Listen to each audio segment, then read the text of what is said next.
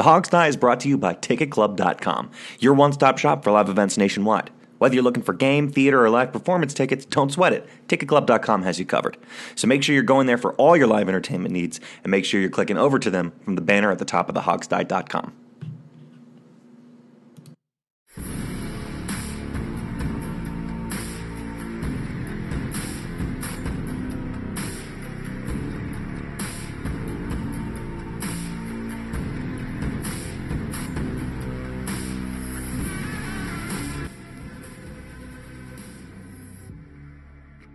Hey, everybody, and welcome to another week of Redskins offseason fun fantasticness here at the Hog Sty. It's such a great week that only two of us have shown up. It's just Steve and I for the day. Uh, this is Alex, your you know hesitant host whenever Sean's not here. So We've we've been abandoned. yeah, they won't even answer our texts or emails. Like, hey, we have a show. Yeah, hey guys, guys. I, I I'd be willing to bet money that Sean's asleep. I, I would be too. And you know, it's kind of like I uh, mentioned to you on our blog the other day. It, it's now the week of Fourth of July. Everyone's just cashing out for a while. You know, like that's just what happens. It's that, it's that time of the summer. Um, I'll be going out of town for next weekend. You know, I, I can't wait. it may be it may be me doing this show myself. Steve just talking in the microphone, going, "Nah." I, could, I bet you I could babble for an hour if I really had to. I bet you I could babble for It, Steve, if you ever have to solo, fifteen minutes. That's all I ask. Fifteen minutes. That's it. Yes. You want me to go for an hour? No, no one wants you to go for an hour. Nobody. You don't think? I, I wonder if I could. I bet you bet you could, could. but no one wants to. No one wants to hear that. No, I don't want to hear that. Okay, well, let's get to things people do want to hear. Okay. Um, because even though it's a light news week for the Redskins, because I, I don't think anyone's even at Redskins Park. Most of them are in France or this is the time Yeah. of the year where the NFL's on vacation. yeah, everyone's on vacation. Uh, but we did get some news, some good news, and let's start with that. And that's that Doug Williams gets another year on his contract. He got a one-year uh, option accepted by the team. Not a surprise, I don't think. I, I think as long as Bruce Allen's in charge, Doug has a job. And even if Bruce gets fired, Dan will probably want to keep Doug because it's Doug. Yeah. Um, yeah. Doug's original contract was three years. Yep. you know, 17, 18, 19. They added 2020 onto the, his deal, so now he's locked in. Um, Jay Gruden is locked in. I think what this is really about is, is they're just kind of maintaining the status quo for Yeah. a while. Yeah. I think that the next year in particular is going to be pretty telling. You know, if the team really craters, you know, I think a whole bunch of people are going to get fired. Um, so I think they're just kind of lining up contracts Right. more than anything else. And, and and yeah, would would Dan Snyder ever have the guts to really fire Doug Williams? I don't think so. No, I think I think that if Bruce got fired, his replacement might be able to, but you know, I, I don't Yeah. ever see Dan doing it. And uh, let's also be honest, this is Doug's retirement kind of place because his last job. yeah, he he's what 64, 65, so Yeah. you know, it's not like he's going to go on and be a star GM anywhere else after this, probably. Probably not. I mean, I, I don't know how much money he's made, but I mean, he's not Bill Gates. Mm-hmm. You know, he. I mean, I don't know if he needs to work or not. I mean, I don't know how much the coach at Grambling makes. Certainly, Uh, probably he's done pretty well, good money. not- You know, it's a private school, so you know he's pro- probably still pulling in two fifty or so at least, or something like that. You know, a good living. Oh yeah, definitely, definitely Yeah. that much for sure. Yeah. But uh, you know, I don't know if eh, maybe I don't know if Doug needs the money or not needs the money. But what I do know, Dan Snyder's not going to fire a legend. That just is never going to happen. If he, like you said, if I think if I don't think he has the guts to fire Bruce Allen at this point. Bruce Allen's done absolutely everything to mm-hmm. get fired, and he hasn't been fired. It's like he's got some like magic fairy dust he sprinkled on Dan Snyder or something. But if that hypothetically happened, like you said, and you brought in like a third party right. GM who's somebody totally not in the Redskins family, yeah, then maybe you ask Doug to retire. I could see that happening. Well, I mean, I, I could see him changing roles a bunch of times too, because at some point you want Kyle Smith to get that GM title. I think if you're Yeah. planning ahead. So then Doug maybe moves into the front office as some other fun title that you just make up. consultant or Yeah. something. Um, but by the way, I, I just double checked. Doug's been in football since 1978. That is a good long career if you want to, you know, consider that. Well, uh, cons- considering he's a, pl- been a, as a player too, you mean? Yeah, yeah. As a starting as a player, I mean, then you could also say he was playing in college and high school. He's been doing this for 45 plus years of his life. That's a that's a nice little thing to have going. Hey, hey, it's what everybody's dream, man. Right. Everybody who does a show like this, you know, We're, I mean, for us, it, it was a dream that never would happen, but for him, it actually exactly. happened. yeah, that's true. Partly because you and I lack any ability. athletic talent or size or anything they would need. Yeah, yeah, that's certainly not at that level Yeah. for sure. No, but anyway, I mean, I think um, I don't know. See, I don't know if the team is smart enough to want to have a GM. Uh, They probably are smart enough to know they want to keep Kyle Smith. Right. But how to do that? I mean, the Redskins tend to bungle um, everything when it comes to front office stuff. Right. And so, are they really smart enough? I mean, the cold blooded business move would be tell Doug to retire. We'll send you out in a blaze of glory, Mm-hmm. you know, but tell him to retire. And then you bring Kyle Smith up as the GM and you reorganize the entire front office. Oh, At the- well, let the- him do what he wants. That's what I mean. yeah. Yeah. let him let him reorganize the front office however you want to do it. Um, I think Dan is too much of a control freak to ever let anybody do that. Right. Uh, I don't think Bruce Allen. I think um, That would be too much of a threat much- to him. He wouldn't do it. yeah, with as much objectivity as I can muster, because I didn't really get behind that whole. We didn't really get behind that whole fire Bruce Allen Well, hashtag. I kind of did. Yeah, we didn't on as a site No. for a variety of reasons, but um, I think Bruce is really just in it for himself. yes. The ego of having this job title. Mm-hmm. I don't think he probably cares to some extent about the team, but he cares far more about his own power and ego than anything else. Mm-hmm. Right. And he's put himself in a position to where, uh, you know, he's sort of the only one that gets to Dan. Mm-hmm. you know, that has any in, real influence on Dan. And and there's a reason for that. And every time anybody threatens him, they're gone. Right. Scot McCloughan Gone. threatened, gone. Brian Lafemina Gone. gone. Yep. Yeah. So Kirk Cousins. Kirk Cousins wasn't even a threat. Gone. gone. Because he could have Yeah, been a threat. I I think um, Bruce Allen is the root of all evil in this organization. Right. Uh, I, Dan is not a good owner for sure, but um, he would be much better served if he had a competent um, GM who or team president who actually cared Right. about the organization. So, someone running the front office. I don't really care what the title is, but Yeah, Right. President, CEO, I don't care what, whatever it is.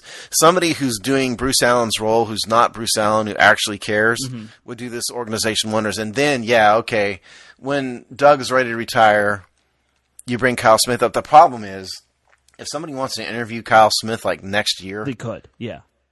yeah, then what do you do? You know, Right. Mm-hmm. then you have to promote him to keep him, and so then you kind of have to force Doug out. And, and you know there are a lot of things we don't know as fans, and I'm because I actually think Kyle Smith probably has a decent relationship with guys like Bruce because his father and Bruce were friends, so it's you got Yeah. that whole thing going. You know, the NFL has so many family connections, but it's all about that. yeah. Let, let's get back to the Doug Williams story. Um, There were also a couple interviews he did throughout the week. Uh, one in particular raised a lot of eyebrows, in where he said that uh, he was talking about Haskins, really likes what he sees, uh, thinks they need to make sure they bring him along the right way. Didn't really kind of elaborate what that is, but he said that the decision to start Haskins or when he'll start falls to Bruce, Dan, Doug, and Jay all together. And now, if you're ranking them in order, I don't know. I I assume Jay and Doug are probably one and two who you would trust to actually make this call, Steve. Uh, oh yeah, well, obviously. Yeah, I, I don't know about where Dan and Bruce come in third and fourth, but it, it, it might be a distant fourth on. Let me give Some of 'em. people a little bit of insight from my personal experience.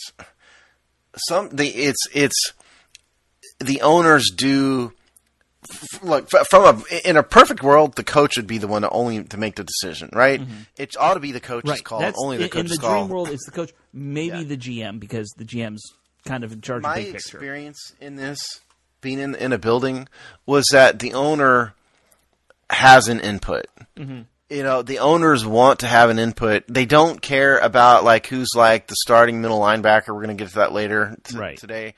But they do care about the quarterback and kind of the big picture items. And so, and sometimes owners want to have an input.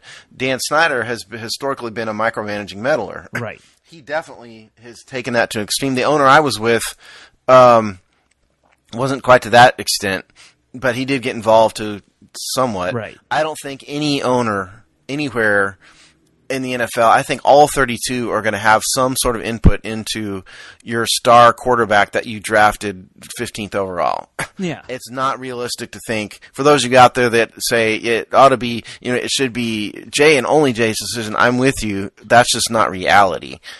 Um, now, I don't think it should be a collaborative group discussion. You know, I don't think they need to sit down in a room and let Jay make a case and then let Bruce make a case. That's that's not productive either. No. But the idea that there's going to be no input at all, um, it's just not reality. You know, um, I, I think Dan probably wants Haskins out there as soon as possible. Probably that'd be my gut. marketing perspective. Yeah. My gut reaction would be Dan, and probably Bruce by proxy will want that Yeah. too.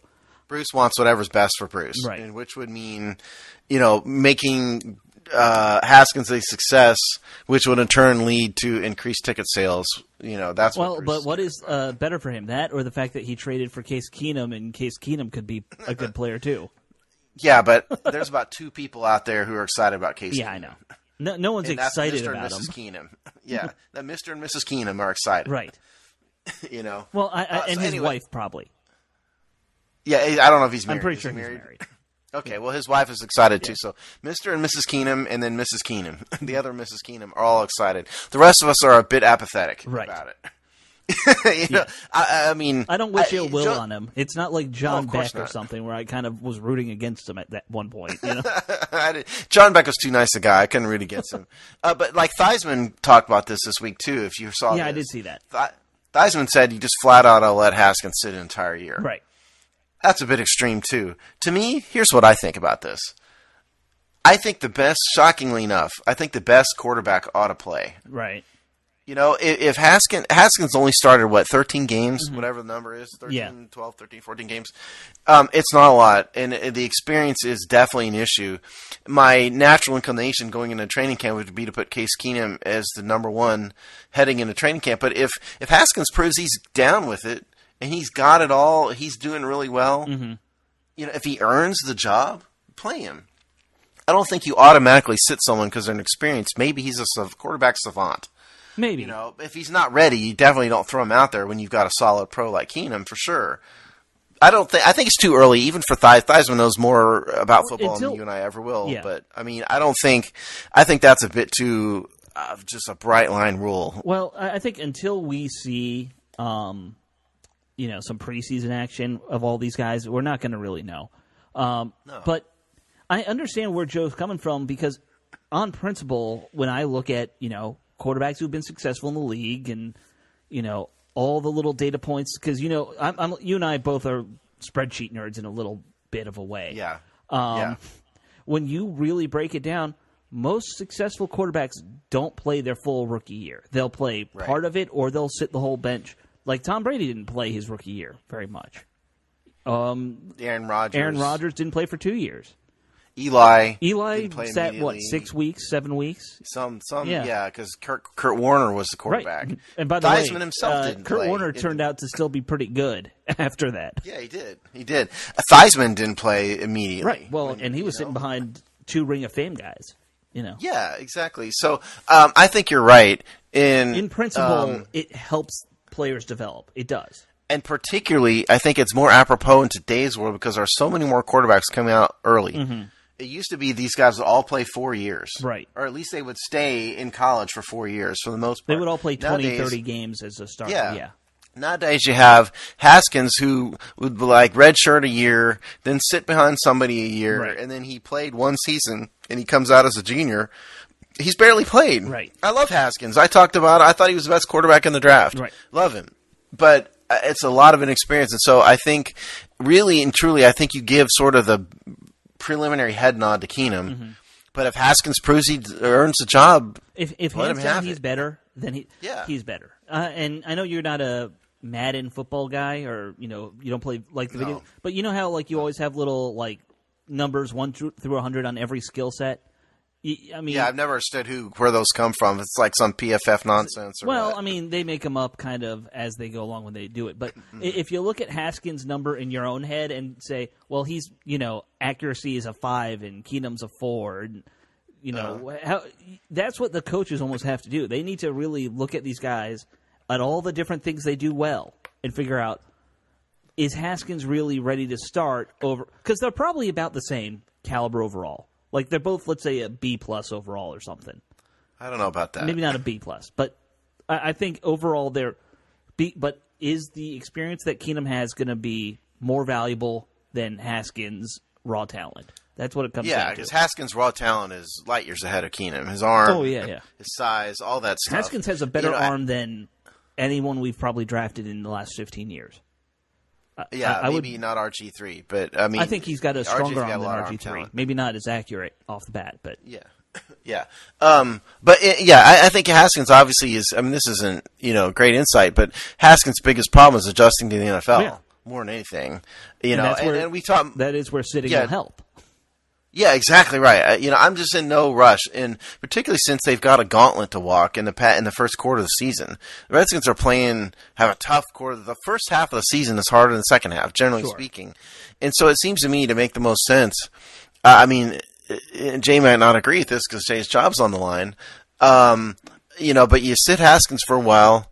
You get through the tough part of the season. You let him learn for a while, and uh, then you throw the man out there. And if the Redskins are doing really well under Keenum, Yeah, then you then just leave him. let him then let, let, Keenum play. Let Yeah. it roll. Yeah, let it ride. But if the season really goes to hell in a handbasket, um, uh, you know, uh, uh, throw him out there at some point after he's sat and kind of adjusted. I mean, I think the ideal dream situation for me would be Keenum plays well, and you, you basically start him for 16 game, games, but you find spots for Haskins to get a few series in here and there. You know, bring him along. Here and there in garbage time, yeah, yeah. maybe. That, yeah. that would be the ideal, ideal way, I think, to bring along any quarterback. You know, Because the, the worst thing to do for sure would be throw him out there immediately, have him be bad because he's adjusting, Right. And, And then destroy his out. confidence, have him replaced. right. That would be a Right, disaster. you- That's the last he- thing. Once he's in, you can't pull him out. you gotta, yeah, you gotta let him and leave him because that's like a Jets thing. Right. do, When you once know? you put the rookie in, he's in for the next three years. Forever. Yeah. Exactly right. So I just think it, it's wise to take it Mm-hmm. slow. But if he proves to be some quarterback savant, you know, throw him out there if he's ready, but only if he's Right. ready. And, and Joe, I think Joe had Joe's you know, coming his at it in from the a, 19, place. a 1970s mentality. That's what he was doing. Yeah, kind of so. I mean, I wouldn't be opposed to it though. I mean, it would. I'd rather have him sit for a year than start week one when he's not ready. Mm-hmm. Right. You know, if those are your choices. Right. But yeah, and to, to get back to the original point, I mean, reality says no matter what you guys think, that the owner and Bruce Allen are going to have a say in this. Right. Because they just are, and that's just the truth, and you're just going to have to get over it. You know, I, we don't know. We're not in Redskins Park like that. Nobody is. We don't know the meetings they have. We don't know Even the, the, guys who are there as the beat reporters don't get to be in those kind know. of situations. No, I mean we don't know the dynamics of those meetings. Right. Who knows? Um, let's just hope it would make sense to let the football guys football. You know, Right. it, would make sense. It, You know. it, would be the ideal situation to let the guys who actually played professional football make more decisions than a guy who was a punter at Richmond and a guy who I don't even think you know played anything above flag He's not football. an athlete at all. Yeah, I don't think he's an athlete. Yeah. At all. Uh, yeah. I mean, Jay Gruden is the head coach of this football team. Right. He ought to have his voice ought to be. The And he knows something about voice. quarterback. Yeah, and he's a quarterback dude. Yeah. He's a quarterback guy. So, but whoever the head coach is, whether it's anybody, the head coach, uh, it ought to be his call. Um, Right. But just reality says the owner is gonna owner's gonna want to dictate sometimes, and Dan Snyder in particular has done it many times. There was a guy named Jeff George in the '90s who was only on this team. I try and black him out, and you keep bringing him up every once in a while. You know, they had. Let's not forget Brad Johnson Right. was an uh, uh, it was a Pro Bowl level quarterback for the Redskins who got replaced by Jeff George. Yeah. Jeff George being a terrible Didn't quarterback. Brad Johnson who- lead the league in passing yards the year before Oh, he yeah. replaced yes, him? he did. Isn't that right? Yeah, he did. Yeah, and Dan had this hard on for Jeff George because George has got like the biggest arm in NFL Right. history. I didn't. I didn't understand it. Brad Johnson didn't have a bad arm either. That was the weird thing. No, but that was yeah, that was that was in the early days when Dan just didn't really didn't know what he was doing. Also, kind of The the quarterback dark ages too. Yeah, uh, you know, but that, but the more recent example, of course, is is um, RG 3 Now, I I don't think anybody will ever really know the, all the dynamics of how that happened because if you believe one side of the story, Mike Shanahan never really wanted him, Right. You know, and it was a who knows. But Mike Shanahan never is- mentioned it until after he was a bust. So yeah, Yeah, exactly. So I don't know who Mike Shanahan's a freaking liar Yeah. too. So I don't believe either one of them. Point is that situation certainly had owner dynamics in it. It That's did. my point. yeah, yeah. yeah. Um, well, I'm kind of out of steam on this whole when will Haskins start thing for now. Out of steam. We could talk about this forever. Well, man. Haskett. Let's not. I mean, we have other things we can talk about though. We have two other topics for the day, Steve, and we're We about do, a quarter right. into the show. We're a third into the show, so. Why don't we change up and uh, get to that listener poll, and that'll lead us into the you know position group breakdown for the week. All right. We always do a poll because we need content Mm-hmm. and we appreciate. You know, we we do like to interact with you guys, but just to be perfectly honest, we need content this time of Yeah, year. I, I feel Um, like maybe so- we should have done two polls. You know, just to Maybe something totally different. Yeah, because we had a whole nother idea for the poll that I just ignored it too. We could have done two polls. Yeah. Um, okay, so the question this week was: since Reuben Foster's out for the season, what, we're doing inside linebackers for the position group breakdown. hint by the hint. A lot of the comes from. times we just poll about whatever position group we're gonna do. Yeah, it's it's it's a way to get into the topic. So the question is: since Reuben Foster's out for the season, who do you think the Redskins should, as opposed to will, start at inside linebacker in Reuben's place for this year? Mm-hmm. So the options I put down are Shaun Dion Hamilton, Jon Bostic, Josh Harvey Clemens, or the ubiquitous other. Yeah. So, Alex, what do you think the fans voted for, and who do you think should start in place of Reuben Foster? Um. Well, because there's so many darn names on the list, um, who we couldn't fit because of the constriction. I'm gonna say the fans went other. okay, Um, maybe they didn't agree on who the other should be, but I'm gonna just guess they said other. Um, and I'm assuming some idiot wrote Mason Foster, and because they didn't think it through, you know, that's got to be in there, right? Yeah, the, yeah. The, the idea here was that Mason's already Mason a starter, Foster is right? the Mike backer, and um, Foster was going to be the what the Redskins call the Jack backer, which is the weak side pursuit guy. Right. So the idea here was that you knew ahead of time that Mason Foster was But going but to be the I- Mike. just guessing, did we get any responses with Mason Foster? Yeah, of course. All right, so I'm right about that. Yay! Yeah. uh, I, I, my my uh, I really like um, two guys, but I- I'll, I'll say Shaun Dion Hamilton from that list would be my every down guy. Um, Okay. But you know, just I went through and watched some film. I still can't get over my love for Josh Harvey Clemens. the Redskins don't agree. I know, I know they don't, but I really love Josh Harvey Clemens for some reason. He might be your new crush. You might have He, to. he might be my defensive crush start n- these days. You might have to start dating Josh instead of Matt. Well, Um, yeah. uh, okay, so your view of the fans was completely wrong. Oh, really? Yeah, they that the the other was actually in last place Really? Huh. by a long shot. Yeah, Sean Dion Han, Sean Dion Hampton was the runaway winner here, seventy two percent. Wow. And, we can, and considering it was a really slow time of the year, we got a decent amount of votes for this. Yeah, I saw the so number I of think votes. This, It was pretty good. yeah, it's pretty good considering it's late June, and so I think this is a fair, pretty good view of what the fans really think. Um, so seventy-two percent. Um, Jon Bostic got sixteen percent. Uh, Josh Harvey Clemens got eight percent, and only four percent voted other. Hmm. So yeah, a little bit surprising. I mean, for me, I think Shaun Dion Hamilton's obvious answer. Yeah, well, I mean, he's the most proven, so it makes a lot of sense. Well, Jon Bostic is probably the most proven. But Well, I'm terms of the talking on our own roster. Yeah, internally. exactly. Yeah. Uh, we didn't get very many comments today in, in this time, but we will read a few. All right. Here, um, Chris Brown. And let's hope this is not Chris Brown, the singer, because I don't really want him on the show because he's kind of a scumbag. So I'm going to assume this is a, another. Yeah, I'm gonna say Chris somebody Brown else.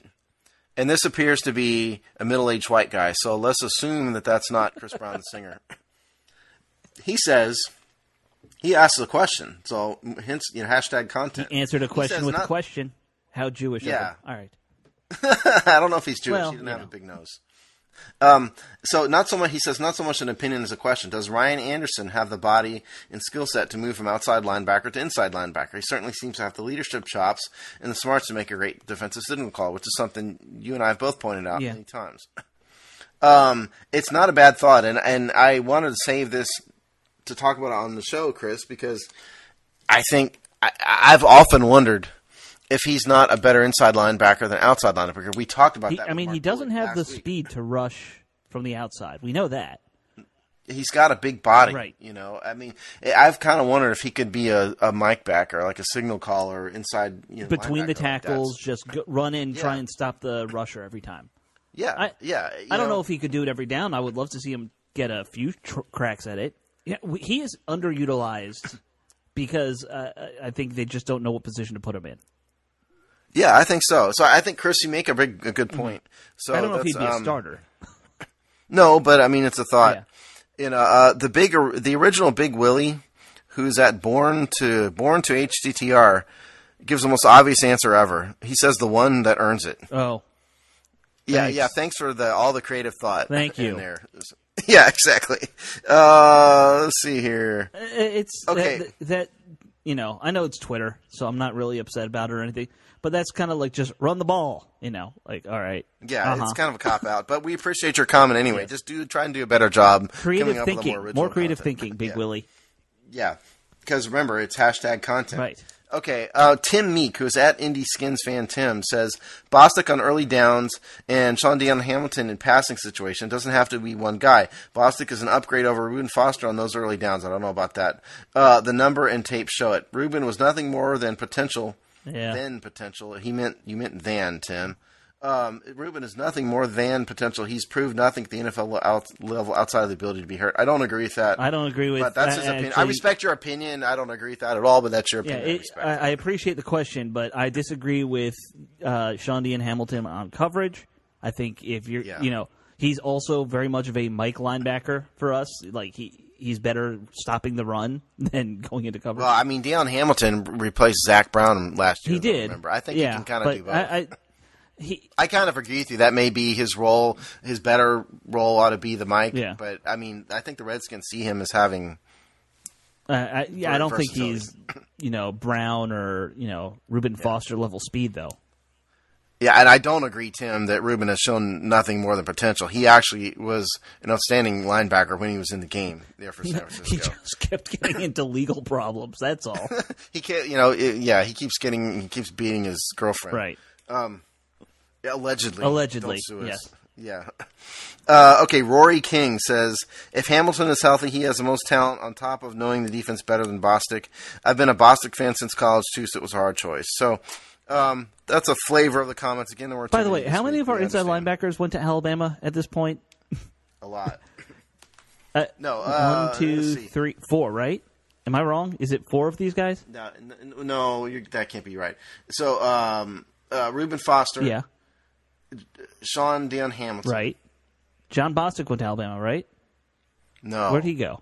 Jon Bostic is not an Alabama guy. He's a Florida grad. Oh, okay. If you want to go to outside linebacker, yeah, no, that's it. No, Ryan Anderson. So if you want to look at the linebacker group as a whole, there's three. Okay. All right. We're, we're talking about inside guys Yeah, today, yeah. but throw throw Anderson in there. Uh, yeah, it's an insight. It's an interesting thought. So that's the poll this week.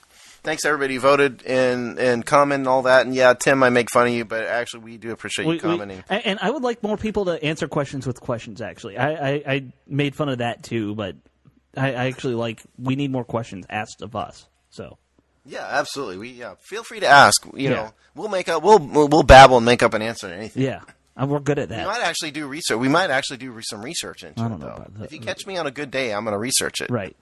If you really catch my attention on something, because this happened, the entire reason why I did a Tim Settle article two weeks ago was we had a one of the commenters emailed us and said, "Hey, can you do? Here's an idea. Do Tim Settle." And you know what? I did it. Mm-hmm. So you might just catch me on a good day and have me put like a billion hours into doing Right. those because that takes a billion hours. To Now, to be to be fair, we also get a probably thirty or forty suggestions for things to do on our website that we don't do for everyone that we do. Yeah. Oh yeah. You know. Yeah, yeah, and most of yeah, most of them we ignore. But I thought that one was going to. Point is, if you have a good idea, let us. By the way, if if another person's like, "Well, I don't like your T-shirt designs," well, you come up with something.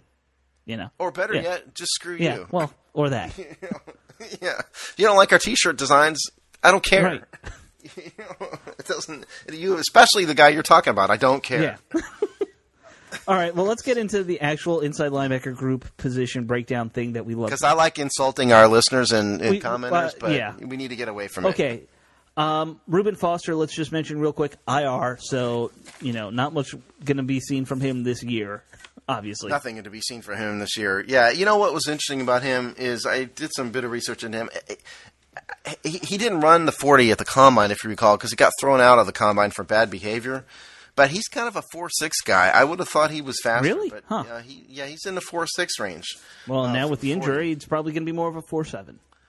Yeah. Now, if you want um, some stats on him, because that's what we do. Yeah. Spreadsheet He's nerd. a two.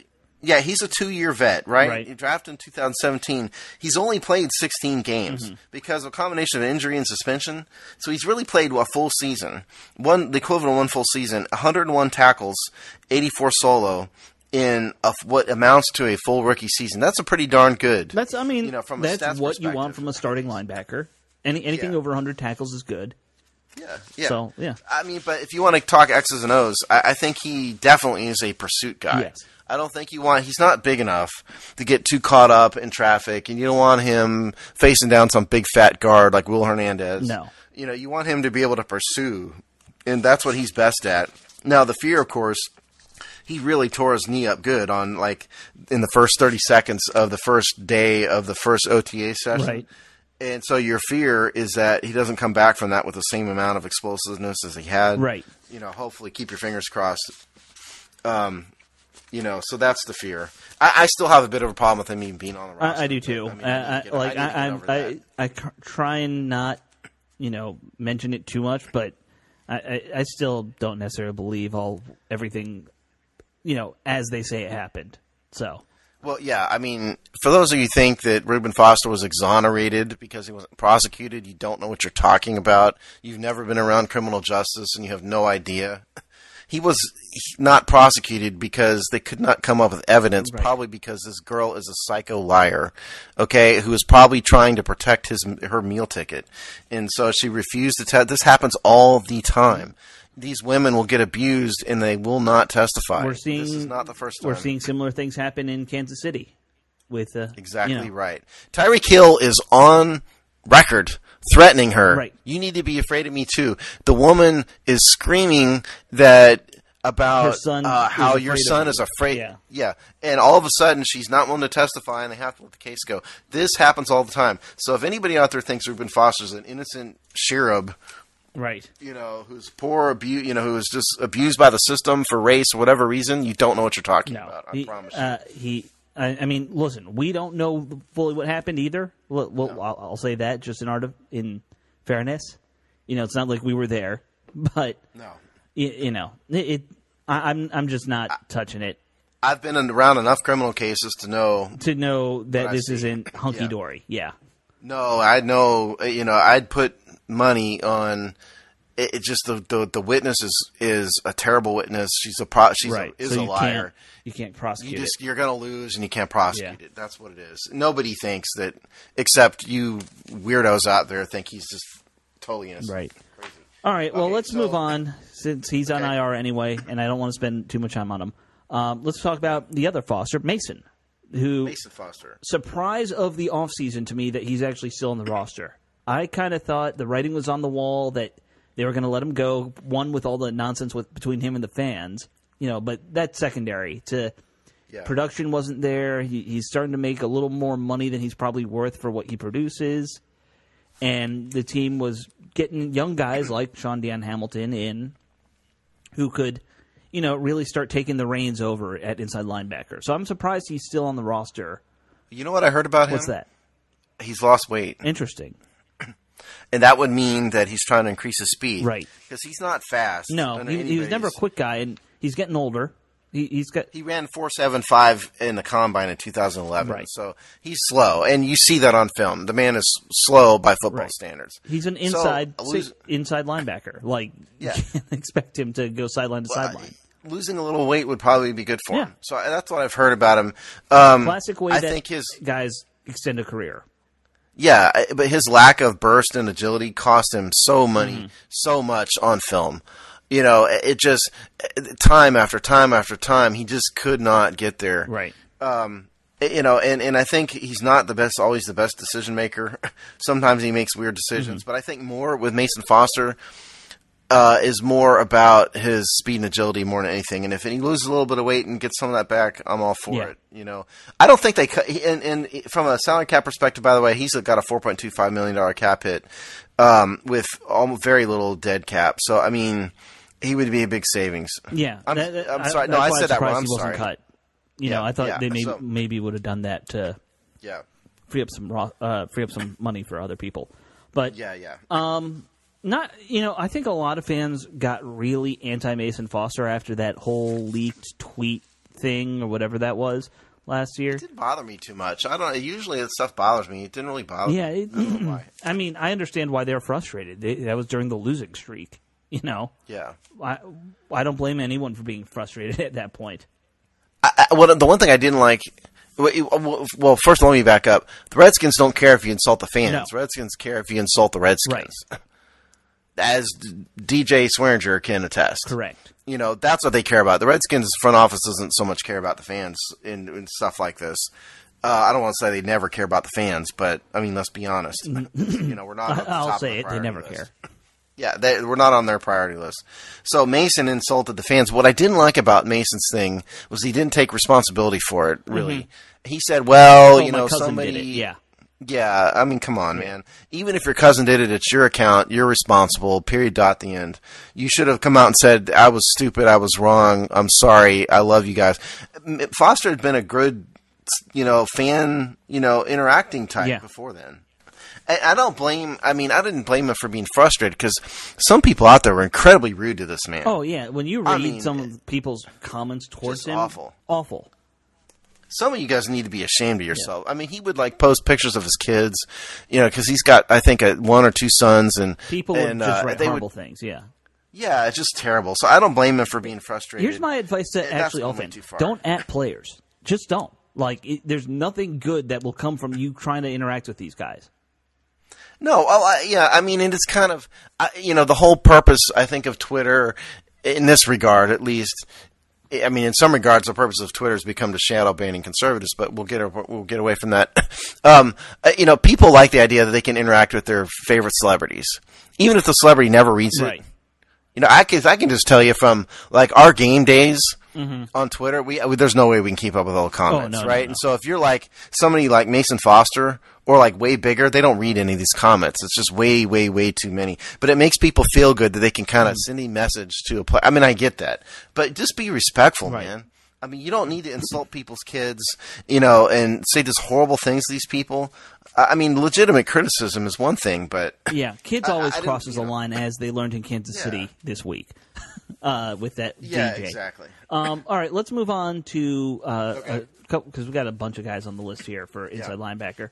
Uh, Okay. Let's go to the guy who won the poll, Shaun Dion Hamilton.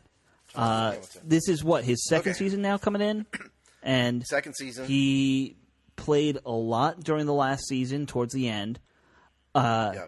I, I watched him f- film of him, or just to kind of refresh my memory, and you know, I know you say he's good in coverage. I still see him as more kind of like Mason Foster, where you want him between the tackles, going after the running back first. Uh, he's he's very good at finding the right spot, the right hole to get into to make the stop on the running game. Um, I think that's kind of where his strength really is. I don't think he's necessarily great in coverage. I just sort of mean that I think he's maybe the best we have in coverage. I don't necessarily think he's great in coverage. Yeah, I agree with you. Um, I like Dion Hamilton. I think he's a smart guy. He's he is definitely is a smart guy, and I think they you know, but for his injury, the Redskins kind of got a steal. Right. You know, because don't forget that part of the reason why he dropped to the sixth round is because he was injured. You know, Yeah. That's also why he didn't play a lot in the first half of the year. Yeah, I, I think the Redskins see him as a potential starter in spite of the fact that he's a sixth round draft. I pick. absolutely see him They that have way high hopes. personally. Yeah. they have high hopes for him. And as I mentioned before, when Zach Brown went off the rails Mm-hmm. last year, um, Dion Hamilton was the guy who replaced him. Yeah. You know, and so he can. I think he can do both inside linebacker roles. I, I think he's this kid has got a bright future. Six foot two thirty five. Um, you know, he he started four games last year, which again were the Zach Brown craziness games. Yeah. Yeah. Toward they're Um, all the last four games, I believe. Yeah, I think so. If stats wise, he had 27 totals Yeah. uh, tackles, 19 solo, 1.5 sacks. Um, you know, he didn't. He only did the bench press in the combine. So, but I mean, he played. Um, he was really a three. He played. He really played three years at Alabama. Mm-hmm. So he's an experienced guy. I like him. Um, I think someday he's our future. I mean, the idea would be Dion Hamilton and Reuben Foster are the future. That's the idea. Yeah, I don't, and I don't even know if that's long term the idea, but because I, I also think inside linebackers No, just it might a be a 2020. Yeah, yeah, yeah. Might be a 2020. I, I don't think that this team, the way we're constructed, they're going to ever have like a franchise linebacker on the inside. Like I think that's just not a high money position for us. So, you know, just Um, historically speaking, we don't spend a lot of money there as in the three Yeah, four. that's true. So That's true. I, I mean, there's something to be said for having the middle of the field be expen- be solid blue chip type players, right? And so if you go inside defensive tackle, middle linebacker, safety, yeah, you know, I- mean, and so we've got the the defensive line kind of set. You've got Landon Collins as safety. They need to find a free safety. Right. You know, but if they could find a, sort of the big Pro Bowl guy at middle linebacker, if it's Reuben Foster, if someone else, I mean, it would help the team. But you're right. I think I, I just look at where we've spent our money in the last eight years. It's never really been a lot of spending on linebackers compared to no, they spent a lot of money on defensive yeah, backs. the DBs, outside linebackers. That's where, and you know, I think Yeah. that all started with Haslett. That's how he wanted to run the three four. So Yeah, we, we've kind of just so. continued it. Um, I think all so. right. In terms of other guys who were here last year, the last guy I think on the list was Josh Harvey Clemens, um, who's not really the traditional inside linebacker. Uh, he plays that the money back, as people love to call it. Yes. More of a hybrid linebacker safety role. Um, good range. I think he's actually pretty good in coverage when you watch him play. Um, he, I don't remember. I didn't look up his stats. So I don't remember what. I know he had a couple good games here and there. Um, Okay, so stats wise, he was active for 10 games in 2017 and in all 16 in 2018. He had 22 tackles last year, 18 solo, uh, 11 tackles in 2017. So he says 33 combined, combined tackles in two years. He's 6'4", 230. The reason why you see he's good in coverage is that that was his collegiate background. Yeah, Don't he forget was a that this guy was Yeah. drafted. Yeah, was drafted as a safety. Um, I think the Redskins like this money ball, you know, sort of backer, and, and really what that is is it's it's a hybrid. You know, it's really kind of an in the box outside. It's an in the box, but not really in the defensive backfield. Right. You know, that's kind of how you sort of see it. If you look at if you look it's at based off of Buddy Ryan's film, four six, is what it is. If you really want to think about it, Kind of, yeah, uh, sort of. I mean, the four six is really forty six is really a four three setup with a single high safety, and then you bring the strong safety in the box. But what they did is they rotated a linebacker over to the weak Right. side. You know, in that kind of you know uh, middle space, so to speak, and that's what you're talking about. Yeah, exactly. And yeah, that's. I don't know if the Redskins like this guy too much, to be perfectly honest with you. I, I'm not sure how they feel about him one way or the other, but I, I just know when you see him in coverage, he, he stays on his guy pretty well, uh, which, you know, that's something none of our linebackers do. Um, outside of like just playing the flats, he, he can actually, you know, cover a tight end from time to time. he just didn't get many snaps No. though. No, he doesn't. And I, I don't know if that's just we're not using formations where he's in the right package or what it is. Because you're never going to put him out, down as an every down back.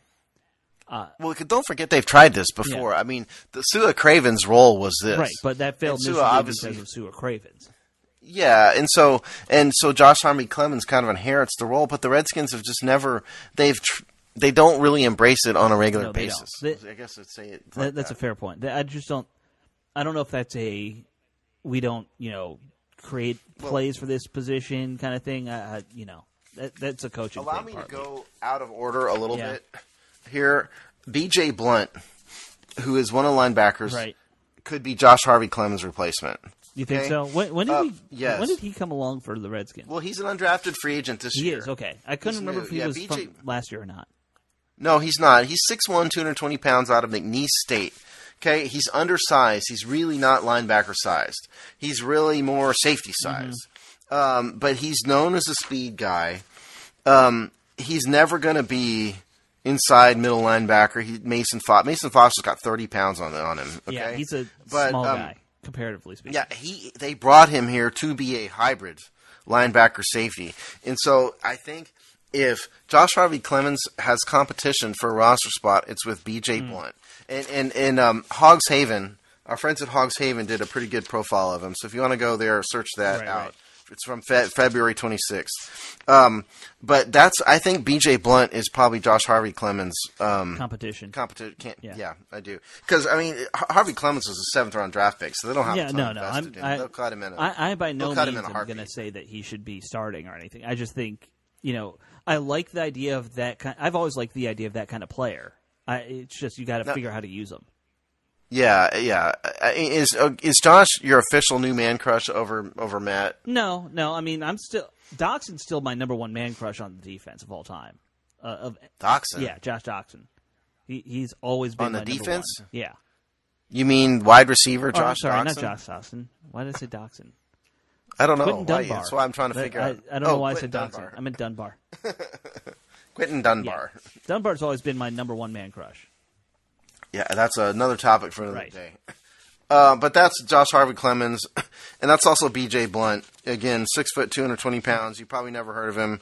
Um, you're not going to find a lot on him. He didn't go to the combine from McNeese State, but I'm just telling you, this guy is the. It's going to come down to whoever plays better special teams. Yeah. that's what it's going to come. That's exactly Yeah. right. He's known as a speed guy. You don't want him inside, which you really the only role he's going to have is as this money ball, money backer guy. Yeah, So and, and you know, if you're actually asking about the whole man crush thing, that's what I, I have more of a man crush on the idea of a money backer than an actual player. You know, I'm just. Te- I hope you know. I'm I just know. teasing you. I don't actually think Matt. People. I don't actually think Matt Ioannidis and I, I, is in a Yeah. in a relationship with Alex. I really don't actually think that. I don't think anyone actually thinks you think that. I hope not. um. Okay. Uh, I mean, if if your one of your alma maters ever actually had somebody drafted, I would do the same thing to you. But one of them has literally never had anybody drafted. I don't think. Well, no. Well, yeah. I don't want to get into my No, alma no. matter here, but we have had some NFL players. It's just No one for the yeah. Redskins. I know that. No, no one for the Redskins. All right, so uh, where do you want to go? I, I was going to say Bostic or, Bostic, or Holcomb. Bostic. No, No, you Bostic. want to go Bostic first? All right. Bo- yeah, Bostic, 6'1", 245 pounds. Bostic is a guy who's been around for a while. He's kind of a bust, okay? He was a, six, a second-round draft pick of the Bears, 2013. Um, he's never really been a full-time starter. He was brought here, if you recall, after Reuben Foster got hurt. Right. He was sort of the best veteran, knows what he's doing, knows how to play football type guy they could find. I don't think anybody thinks that he's going to mysteriously become some kind of great player. He did start the past two years in Indiana, Indianapolis, and then they cut him, and then he started last. He was a full time starter for the Steelers last year, and then they let him go. You know, so that ought to tell you something that there's two shots they've got to start. Neither team captain. Right, and You know. uh, you know, like you hear people say this all the time. The NFL is full of linebackers like this. Bostic could probably start for you and still get eighty to one hundred tackles, no problem. He had 97 tackles for the Colts in 2017. Right. So, like, I, I don't think he's not a capable option. I just he, you know, he's not a playmaker. Again, you said they drafted him what second round, Second round. and will be his third team in four years or something. That's so. there- well, they, he was also with the Patriots for a blink of an eye. Oh, so fourth too. team in four years. Right. Yeah. So that's there's something going That on there that's a flag. I'm not sure what. It tells you that he's not very good. Yeah. Yeah. Eh, you know, by NFL standards, you know. uh, But I mean, look, the Redskins were desperate because if it's not, you know, they needed a veteran. Yeah, they did. You they know, need they had they need competition.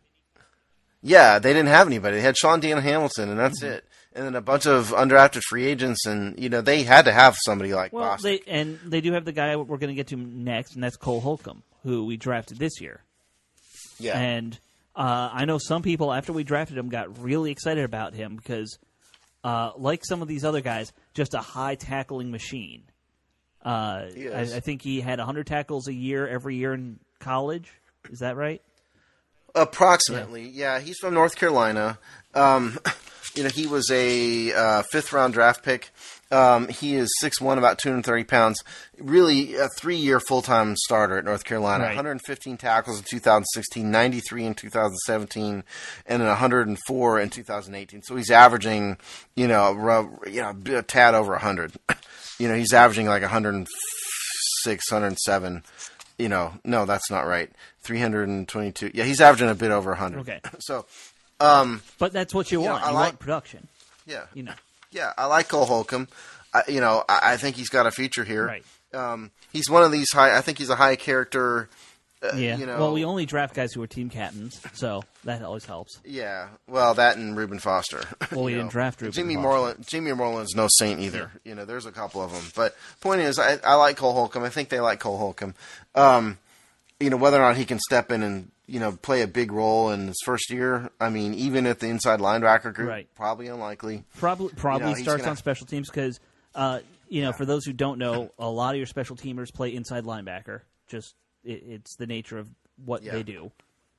Yeah, yeah. So we'll see. I mean, I, I you know I'm, I can't get too excited about any fifth round pick. I guess, particularly. I mean, you know, Cole Holcomb, he's there. Right. He does have experience on special teams. He did play some special teams in college, so um, you know that's All him. right, so- I do. I think he's going to play a big role. No. No, probably not. So then we have two guys left: uh, Marquis Flowers and Ankrah Andrew or Andrew Ankrah. Andrew Andrew Andrew Anchor. Yeah, let's start with Marquis Okay. Flowers. Marquis Flowers, 6'2", 245 pounds, six round draft pick of the Bengals in 2014. A little bit smaller at 245 the, compared to some Yeah. of our guys. Yeah, I mean, he's kind of right in there. I mean, he's, you know, a tiny bit smaller than Mason Foster. He's traditional middle linebacker. you know, again, I mean, he's obviously moved around um, some. You know, I, I mean, New England's the type of team that brings guys in, and if they don't work out, they just ruthlessly cut them. and that's what happened to him. Um, I mean, he has played some outside linebacker. So he's the type of guy that has some versatility. He was a DB early in his career in Arizona in college. Okay.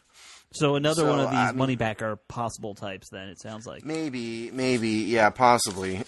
um, except I don't, you know, I don't think anybody should have you know high hopes necessarily for this guy. Um, you know, he was released by Detroit, you know, last year. Okay. I mean, let's you know take that into consideration. you know, he didn't play a full season. He got released in October last year, so.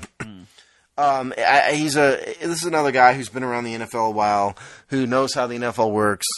Um, I don't think he's a starting quality player in any way, but if they get desperate, you know, he could be a rotational piece that at least knows how to play football at an NFL level. So that's about all you can I can say about Marquis Flowers. I don't know about you. You may have some. No, I, I don't have any profound influ- inference from anything I've read about him.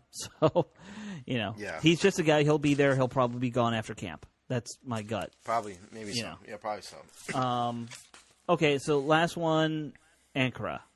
Uh, Do you, Ankara. What did you read about him? Because I'm sure you found something. You know, I always Yep. do. Um, Andrew Ankrum is a local boy. Uh, went to James Madison. He is. Uh, he was really an outside linebacker. I threw him into our inside linebacker group on the site on our uh, salary cap chart because he has to go somewhere. But the truth of the matter, he's 6'3", 240 pounds, roughly 244 All right. pounds, what he's listed at. Um, undrafted free agent, 2019 undrafted, obviously. Really an outside linebacker at James Madison.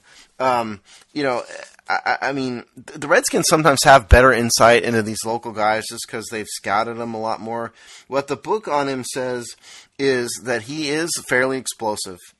Um, he plays with a low center of gravity, um, so that's a good thing.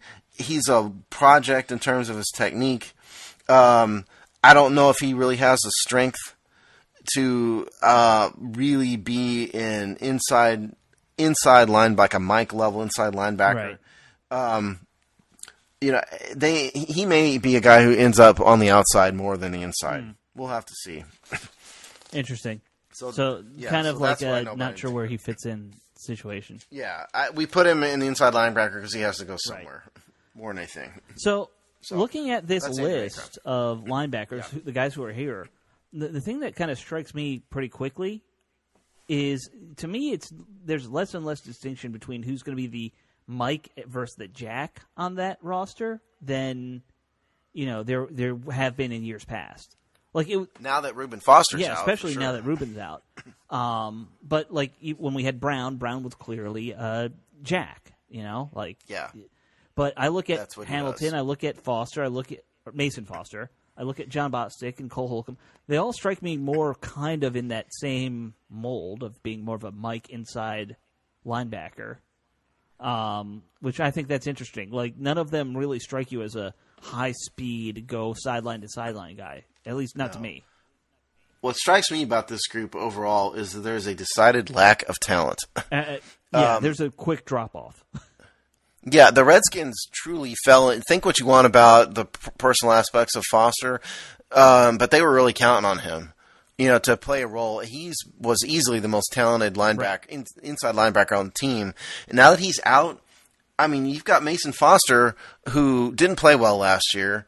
You know, who's getting up there right. age wise a little bit, at least for a linebacker. he, he- he's slow. just a very average. Like if you're to draw a line Yeah. of what the average is, it's him. I don't hate Mason Foster like some of you guys out there do. I mean, you know, I just criticize his play more than anything, and his play leaves something to be desired. Well, this man is an ingrained starter this year. Uh, Actually, and on the field, I've he's liked competing him. with- like not for his his play, but like the other aspects of it. Good game managing and stuff like that. yeah, to a certain extent. But my point here is that I don't think Mason Foster is a starter on a championship No, team, for no, example. he's not. His competition are the likes of Cole Holcomb, B.J. Blunt, Jon Bostic, Andrew Ankrah. Um, this team needs talent. They really need to start focusing on the inside linebackers. Uh, maybe Shaun Dion Hamilton will be great. Mm-hmm. You know, maybe he will. And and again, like we said, the team likes him. I like him. But um, if something happens, if there's a couple more injuries in this group, they are in a world of hurt in the inside linebacker group. That's the problem because you really are going to see like Jon Bostic and Cole Holcomb Yeah. you know, at some point if it really goes south. Um, so that ought to make you nervous. I, this, I'd say this, especially with um, Reuben Foster gone, this might be the group with the least talent on the entire team. On the de- uh, well, I don't know about team. On the defense for sure. I'd say on the team, name one that has got less you talent. think this is less talented than our wide receiver group? Because I that's all, that's going to be the big one, of course. yeah, well, I mean, Paul Richardson is a Or vet. guard. It depends on how. Okay, you got me on guard. I mean, because we've got, we've got Brandon Scherff and nobody. So yeah, okay, guard. I don't know if I think it's I think it's a competition. I think uh, between wide receiver and inside linebacker, kind of running neck Yeah. and neck in talent. But they've drafted a bunch of young guys on the wide receiver group. That's is the thing. I mean, Kelvin Harmon, uh, Terry McLaurin, you know, Paul Richardson is the big money guy. So they have guys they're counting on. And the inside linebacker we're counting on like Marquis Flowers. Well, I, I don't think know? we're. Ca- I think he's going to be like, uh, you know, he'll make the roster if other people get hurt. I, I'm being Yeah, facetious, yeah. but my point is, those are the type of guys we have. Um, I, this group can be a problem. I think it was a much uh, more devastating blow than people realize when Reuben Foster went out. That is why the coaching staff looked aghast. Yeah. You know, when it happened, because it was like, oh my God, this was our all pro guy potential. You know, that's I think that's how they saw Yeah, him. I, I actually look at this group and I kind of wonder if you need to kind of redesign how you're running your defense because you know how we run a lot of uh, two four kind of nickel fronts now. Yes. I, I kind of Yes. wonder if maybe you're better off just running three DTs out there and one less inside linebacker. I mean, it depends on what the offense is doing. Yeah, you know. but talent wise, you're better off. Your best players are not going to. If you were to say who the eleven best guys, it's not going to be a second linebacker from the inside. No, that's true. I mean, if you want to take like an NBA basketball approach and throw your best players out Yeah. there, it ain't going to be It's an going to inside be a linebacker. three-three-five defense, really. yeah, exactly, something. Yeah. Yeah. No, I mean, I, I mean, it's more, it's more complicated than we're Yeah, making it seem, of course. But, but, um, yeah, I, I mean, I agree with your point there, and, I, and this group really causes me great pause, Mm-hmm. even with Reuben Foster, because let's be honest. I mean, ignore the personal part of it and the legal part of it. They literally fell into it. You know, they didn't have a plan to acquire Reuben Foster. To I, I assume the plan, if they, they fell into him. Brown, just keeping Brown. who Brown again the personal aspects of him aside because I didn't much like his attitude uh, he had a lot more weaknesses than I th- thought considering how fast he was he I think he should have been able to pursue much better and have been in better coverage he just doesn't have it in him to be a good cover linebacker you know he doesn't so I I think this group needs a lot of attention for 2020 going forward. just generally speaking, Yeah. you can't count on Shaun Dion Hamilton to be, you know, a six round draft pick with an with a what was it a shoulder? I forget Something what his like- I can't remember was. either, but yeah, he was. Yeah, you can't count on him to be your you know Pro Bowl middle No, linebacker. he's not, not. None of those guys are Pro Bowl. I think that if you take Hamilton and Holcomb and Bostic and Harvey Clemens or whoever becomes the money backer, Yeah, you'll cobble together uh, enough starts and enough play time for that linebacker position, uh, Yeah. alongside Mason Foster, who I assume will just play every down. Uh, but yeah. it's not ideal. But I mean, but like one or two injuries, this group could oh really yeah, be in a world yeah, of if- hurt. Well, if Mason Foster goes down, we're It's a serious Yeah. problem. And and listen, if you're counting on Mason Foster to be your cornerstone, because Mason Foster is average right. At best. Really, inside and linebacker like our buddy Mark- like- better than cornerstone. Yeah, they're like our buddy Mark Tyler from Hogs Haven, who we communicate with regularly, doesn't think much. And and you know, like Mark is a coach. Mark knows what he's looking at better than you and Yeah. I. And I mean, he does not think much of Mason Foster uh, in terms of his play on the field. So It's like I said, there's there's probably 20 guys like Mason Foster in free agency still. You know, Yeah. that, that's the nature of Bo- linebacker. Jon Bostic might be one of them. Jon Bostic might be yeah, one of them. exactly. He is. He, he's the same guy. Yeah, that's yeah, that's exactly right. Yeah, Jon Bostic, Mason Foster. Yeah, exactly right. So, uh, in terms of starters, since we always predict starters, I'll just go ahead and say um, I think Mason Foster, obviously, and then you're going to see. Um, I'm going to see Shaun Dion Hamilton is going to be the starter, but you're going to see a lot of Bostic. I think that's your rotation. Foster, Hamilton, Bostic are going to be the three guys you see most. And then, yeah, I mean, between B.J. Blunt, Blunt and um, Josh Harvey Clemens, I don't know. I haven't Some, watched somebody will B.J. get Blunt that to know. spot of whatever Yeah. you want to. Yeah. I'm not going to pretend like I've watched a ton of No. B.J. Blunt film. I haven't. I don't. and, and I'll be honest, I, I wish we could come up with a better name than Moneybacker. Like I hate that nickname for some reason, but yeah, I don't know where that came I, from. it, it was uh, Arizona. I think came up with it. oh, yeah. yeah, you're right. No, you're right. That is Um, it. No, you're right. But okay, so my starters: Foster, yeah, Hamilton, yes, but I'm going to say Holcomb comes along and kind Okay. of becomes the third guy, rotational guy. There's your wild card, Yeah. people. Cole Holcomb. That's that's a sad wild card. Mr. and Mrs. Holcomb agreed Yes. you, with you, but maybe not too many Well, maybe a bunch of NC State fans. There's got to be a lot of NC State Redskins fans, right?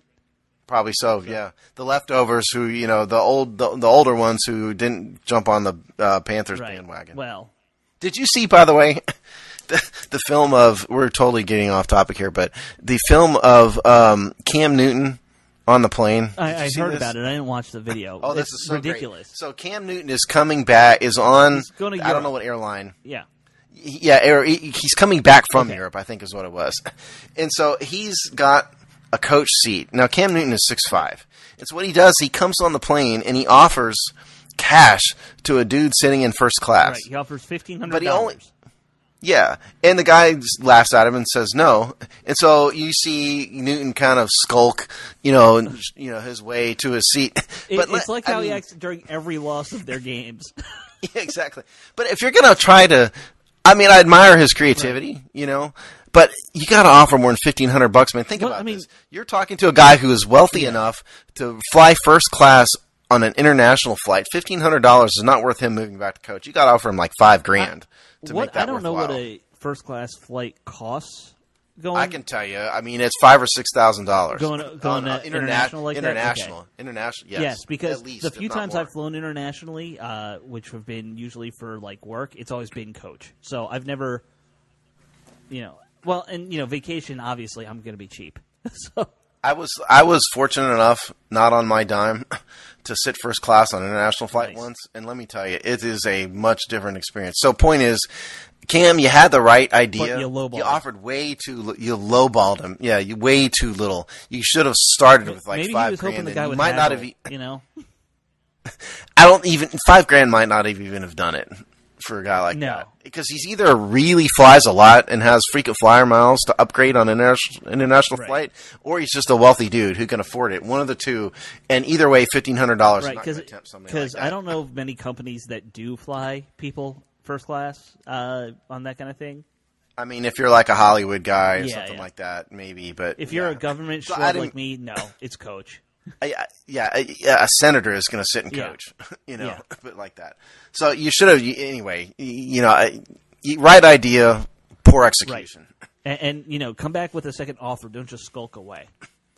Exactly. You could have come out and said, "Hey, you know, what about three All right. grand?" and you know, haggle with him Right. a little bit. I'll double it. yeah, I'll start signing autographs. He might not have.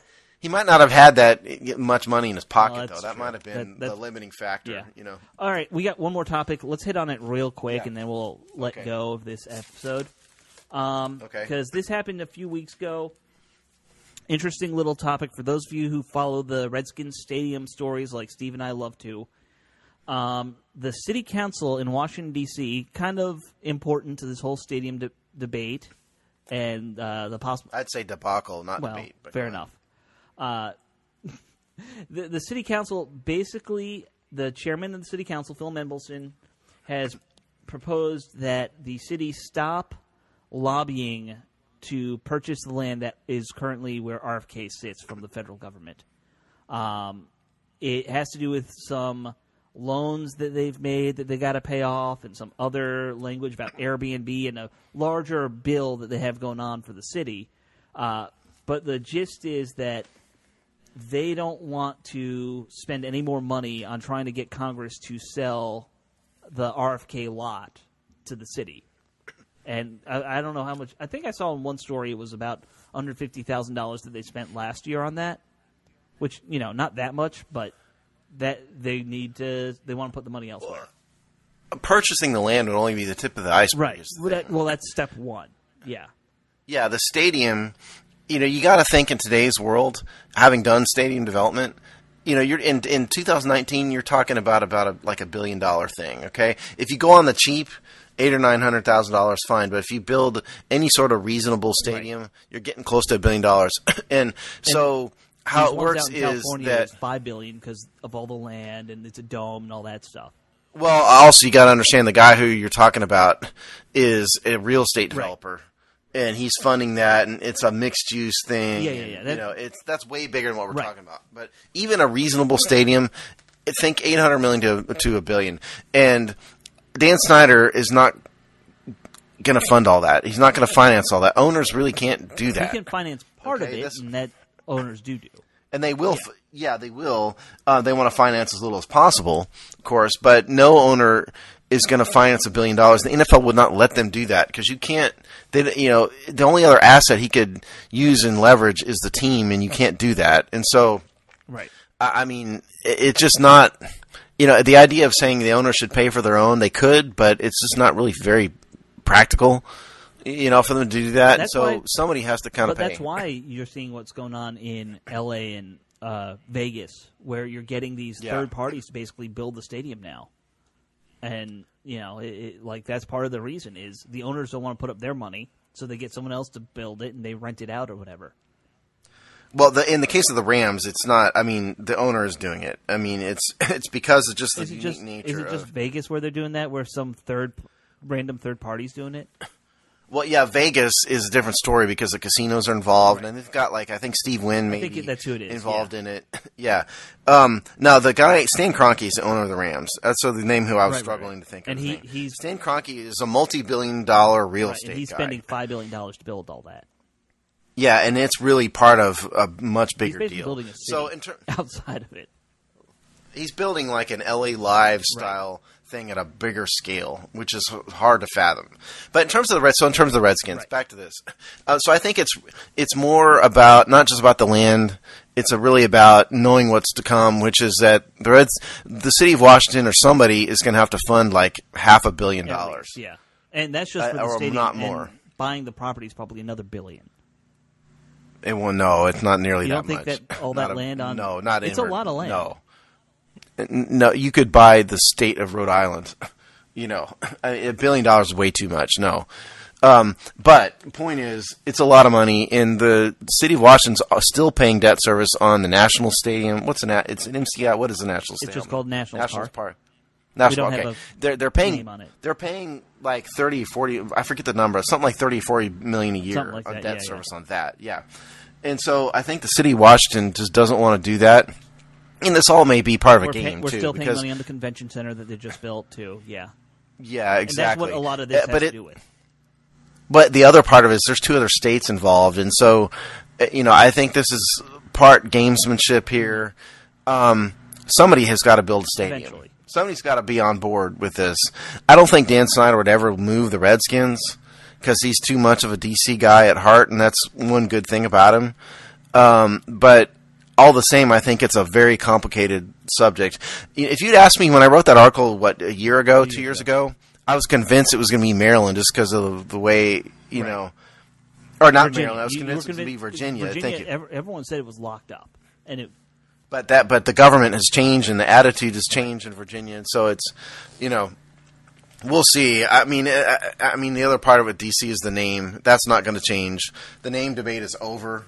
It's not. The name is not going no. to change. Uh, but I mean, the issue in DC is they they have the support of the mayor right now, but uh, as a resident, I'm not a big fan of our mayor. She's not very effective, so there's that. When is her term in? Uh, I think she's got four years still. So, yeah, she's got a while. Okay. Uh, the only supporters they had in the city council, outspoken supporters, one of them's ju- in a whole bunch of legal trouble, Jack Evans, and the other one was Vincent Gray, uh, who's ex-mayor. Not exactly upstanding citizens. no, e- ev- You know, in and the crowd. remaining like twelve people on the council are either against it or haven't really said anything. So Yeah. you, you don't have Um, now- the council right now. Now, from a timing perspective, it's getting to the point where they It's getting tighter. start to a little bit. I mean, again, from like a cradle to grave, from like an idea to opening day is like a ten year thing, but you could do it in like eight. You really had to, and so it's getting to the point where they're going to have to start having some more concrete plans, particularly when you've got so many different governments involved. If it's going to be in D.C., I mean, the federal government is going to have a Right. role, you know, in the RFK site, whether it's a lease or purchase, whatever. Right. You and know, it, sounds like the um, plan that the city wants is they want to buy the land. That's what the city wants. Yeah, and the government has to want the federal government has to want to let them buy the land, which I don't think it's on the government's radar scope in well, any way it right now. is. Uh, it, it is on the Trump administrations because they've been actually trying to sell as much federal land as they can, which is a whole other story. But yeah, there is Yeah. that. but there's a land use issue eh, because, like, the people, the local residents, against it, like of the- everywhere. yeah, for understandably so. I, I, I think I just think, generally speaking, there's a lot more complicated. There's a, there are more issues and there are more complicated issues in building a stadium in the Washington D.C. area than there are in a lot of other There are, cities. Yes. And now you could go all, you know, if you could talk Virginia into it, we talked about this off air, Alex.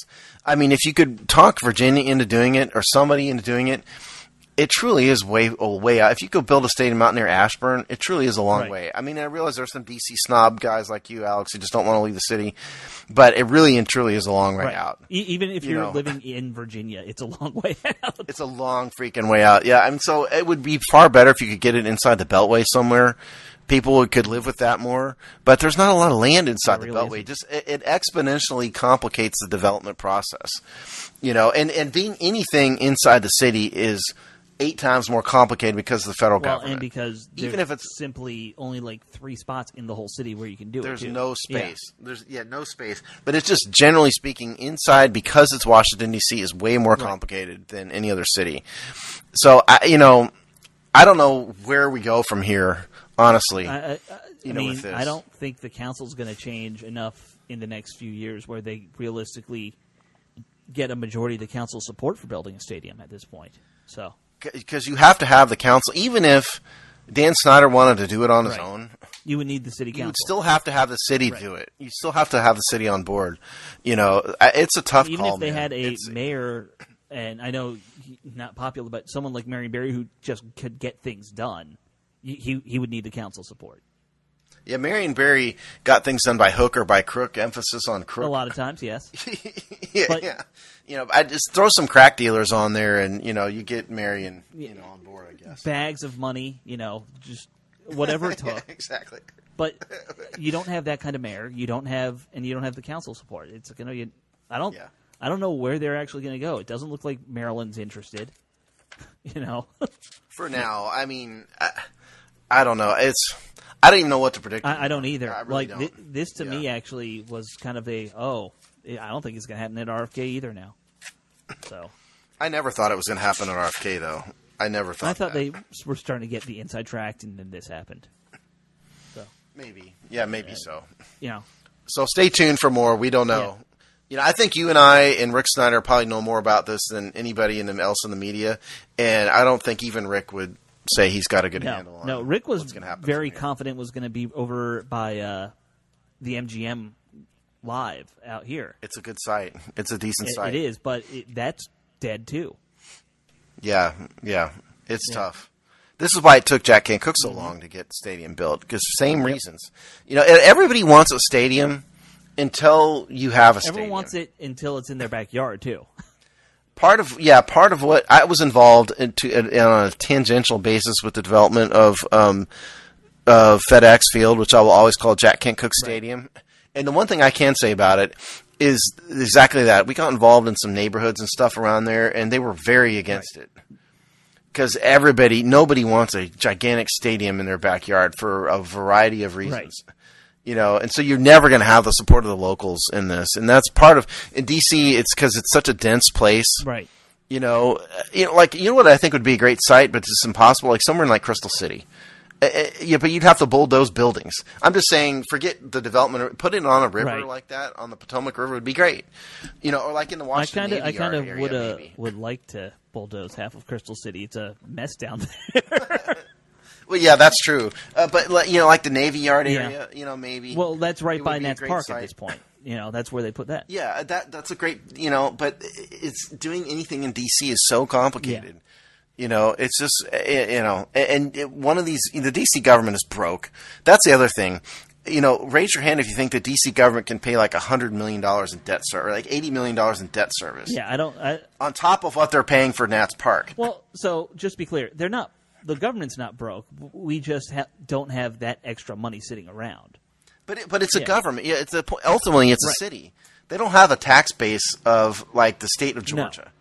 You know, I mean that's my point. It's yeah, and DC has its problems and corruption, and all that. But at the end of the day, it's a city. Right. What's the population of DC? Uh, Seven hundred thousand.